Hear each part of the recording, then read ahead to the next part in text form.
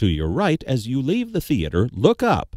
On the edge of the rocks is News Nob, the original sign designated the area where reporters broadcasted television and radio reports of an atomic test. If you look up, there is a mountain lion. The test site has numerous kinds of wildlife, including these big cats. You can learn more about this mountain lion on the sign located on the handrail.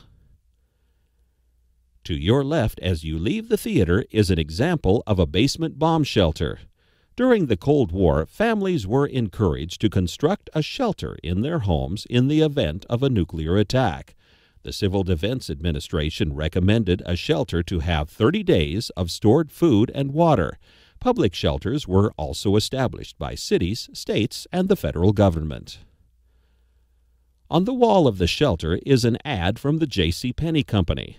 In 1953, fully clothed mannequins were placed in shelters, homes, and automobiles on the test site as part of a civil defense atomic test.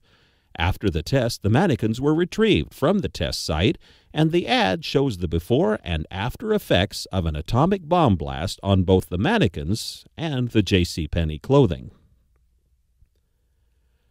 Notice the dog tags in the large silver case on the railing of the ramp. Dog tags were given to every citizen, man, woman, and child in Las Vegas in the 1950s to identify individuals in the event of a nuclear attack. With the creation of the Nevada test site, Las Vegas became a strategic target for a Soviet nuclear strike.